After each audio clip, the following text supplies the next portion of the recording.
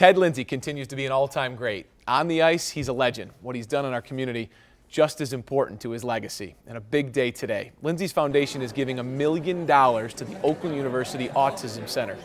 It helps families, something Lindsay is always stressing with autism. It's not just the kid, it's not just on one parent, it's with the entire family. Dylan Larkin on hand today. He has joined the foundation as a board member and spokesperson.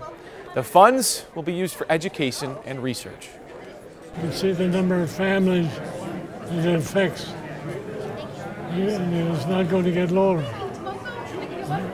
Now, as medical professionals researching, they're identifying more cases of autism that weren't autism before.